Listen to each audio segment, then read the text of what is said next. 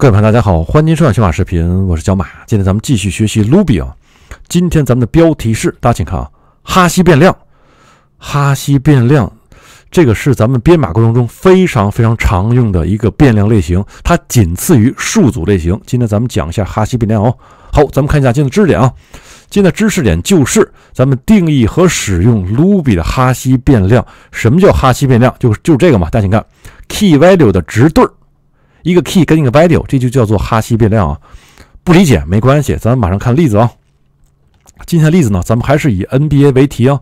我这儿定义了一个哈希变量，大家注意看，我可是拿大括号把它括起来哦。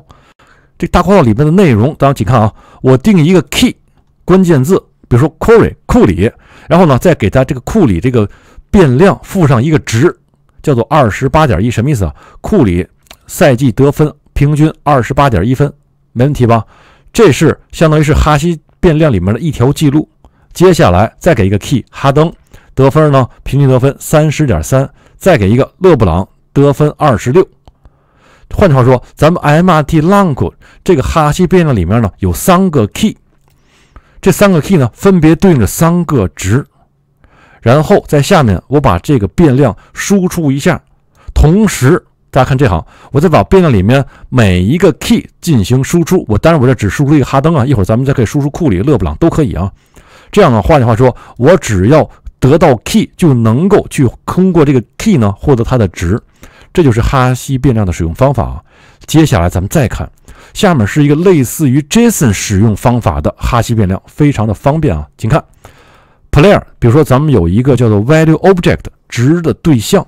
它呢有三个属性，一个这 player 嘛，对不对？游戏者、玩家，对吧？它一个属性叫做名字，哈登，年龄二十八，得分三十点三。哎，这个大家请看起来，这个像不像 Java 脚本里面的 JSON 对象？非常像嘛，对不对？呃，Ruby 呢也能实现，对于咱们今后数据库编程呢是非常有帮助啊。好，那咱们定一个 player 对象之后，该怎么输出呢？请往下看啊。呃，这个地方我呢先把这个 player 对象输出。然后接下来把 player 对象里面的每一个属性、年龄啊、名称、名字、年龄，包括这个得分都输出。但是注意，它和 JSON 使用不同的地方是，它需要一个中括号，然后呢，属性名前还要跟一个双，哎，稍等，摁错了，还要跟一个冒号。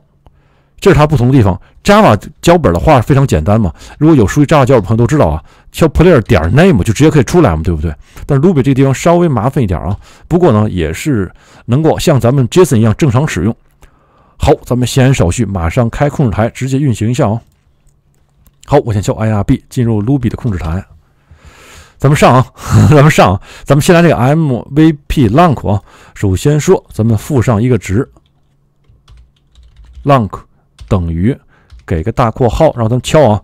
比如说，第一个值对是 query，让它有二十八点一分，没问题吧？第二个哈登，第二个属性是哈登，或者说第二条记录哈登是三十点三，没问题。然后咱们再给一个属性是勒布朗，LeBron，然后他的得分是二十六分。好，这样说咱们就赋予了一个呃哈希变量，对不对？够，没问题吧？接下来咱们呢打印出这个哈希变量，看看什么内容啊？Puts MVP，哎，lunk 回车，哎，大家请看，这就是哈希变量里面的内容。当然了，咱们不可能要全部内容嘛，咱们只要一部分。比如说，咱们只要哈登，打 Puts MVP。Long 跟一个中括号，我找找键盘中括号在哪啊？然后哈登回撤，哎，怎么样？哈登得分出来了吧？换句话说，咱们这个哈希变量里面呢有三个 key 对应着三个值，对不对？然后咱打印出来哈登的值三十点三。比如说，咱们再打印库里，因为喜欢哈登、喜欢库里人差不多啊。可能在中国喜欢哈登的人更多一些啊！哎，怎么样？库里二十八点一也出来，当然勒布朗也能出来啊，也没问题。这个数据结构非常常用啊，请您要记住。接下来更常用的是类似 JSON 的使用。咱们试试啊，附上一个这 player 对象，等于给个大括号，敲啊。